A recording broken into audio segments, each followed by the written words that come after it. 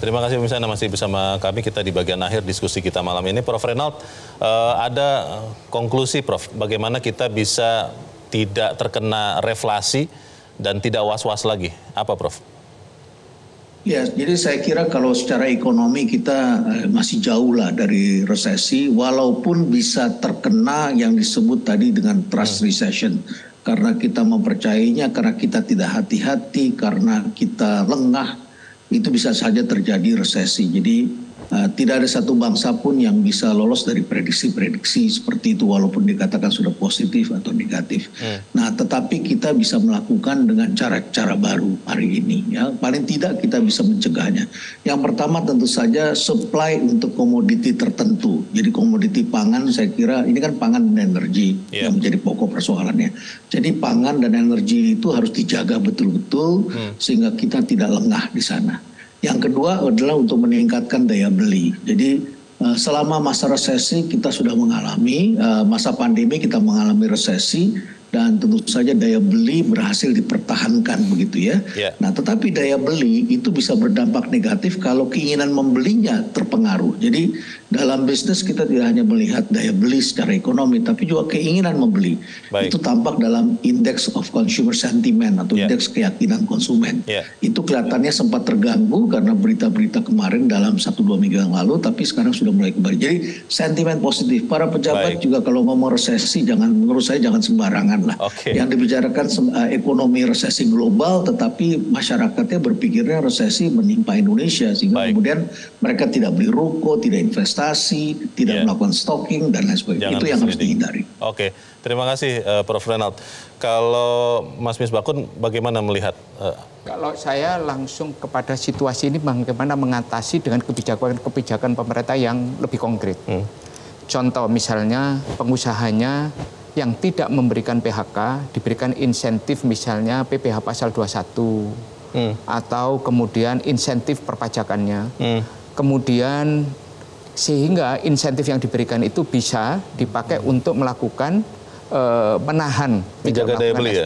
ya. Kemudian kalau memang sudah terlanjur diberikan PHK atau kemudian pengurangan jam kerja, pemerintah memberikan semacam imbalan yang tadinya dipotong itu melalui insentif misalnya 600 ribu per bulan okay. atau apa sehingga ini dampak-dampaknya itu tetap bisa diantisipasi oleh pemerintah hmm. sehingga mereka tidak menimbulkan kerentanan-kerentanan sosial baru. Yeah.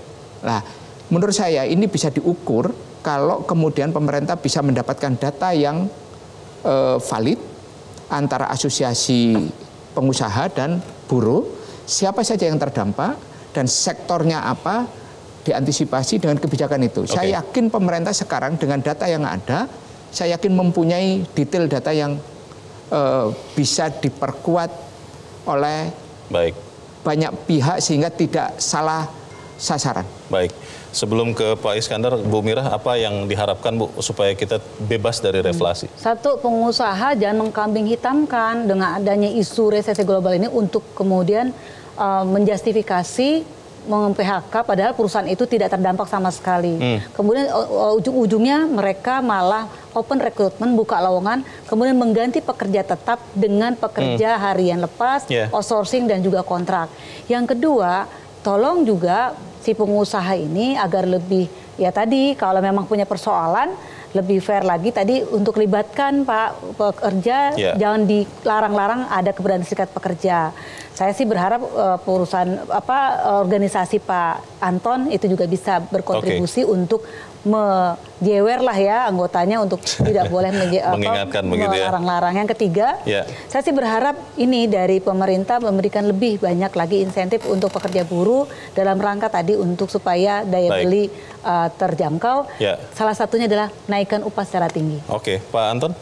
Ya saya kira yang penting dalam menghadapi ini kita mesti punya satu understanding yang sama lah, persepsi yang sama bahwa tidak semua komoditas mengalami krisis karena ada yang booming ya pe- pertambangan tetapi i- sektor industri dan khusus ekspor ini meng- menghadapi masalah. Real ya. Real itu real saya berani pastikan lah. Nah oleh karena itu dalam melihat ini juga jangan menggeneralisasi melihat pertumbuhan kita masih bagus dan ini berbeda dengan waktu pandemi Mas Leo. Iya. Pandemi kita ada order ada pekerjaan cuma ruang gerak bekerja agak dibatasi tapi kita masih bisa bekerja. Sekarang memang tidak ada pekerjaan. Dan ini serius karena bukan hanya Indonesia seperti contoh tadi. Nah, oleh karena itu persepsi yang sama dan kedua ya pemerintah juga mesti duduk bersama dengan kita ini supaya tahu the real problem apa. Maka itu saya sependapat dengan Pak Misbakun ada perlu tim investigasi yang menelusuri yang dikatakan Pak Renal juga supaya diagnosanya juga tepat. Apakah mau dikasih insentif apa dan seterusnya. Nah, karena semua ini akibatnya yang akan membayar ongkos siapa? Iya. Ya pengusaha pada akhirnya memang dia akan tumbang, tapi akhirnya un- employment yang akan kena. Dan sangat kasihan bahwa orang-orang pencari kerja ini akan jadi korban. Oke. Terakhir adalah tolong dalam kondisi begini kalau bikin kebijakan kita tahu sudah dekat pemilu lah. Ya. Tapi jangan selalu diwarnai dengan uh, politik sehingga akhirnya Ya. bukan keputusan ekonomi kita Ya. harus selamatkan dulu Baik. uh, survive-nya ekonomi ini Mas Leo. Baik, terima kasih Pak Iskandar. Eh, begini Bang Leo ya, jadi sebenarnya permasalahan kita ini multidimensi, maka itu kita nggak bisa hanya Yeah. melihat kepentingan Yeah. salah satu sektor tertentu saja ya, nggak bisa melihat kepentingan pemerintah saja, nggak bisa melihat kepentingan pengusaha saja, eh, tidak bisa melihat kepentingan pekerja dan masyarakat. Kalau prioritasnya bagaimana? Pak? Ah, maka itu ini kita harus di region yang sama. Tujuan kita ini kan mensejahterakan rakyat. Maka itu eh, apa yang harus dilakukan? Masing-masing ini harus berkorban. Maka itu pemerintah eh, salah satunya adalah untuk mempertahankan ekonomi domestik ini harus kita pertahankan. Daya beli ini harus tetap kita pertahankan. Makanya kemudian Maka itu kita apa? menggandeng.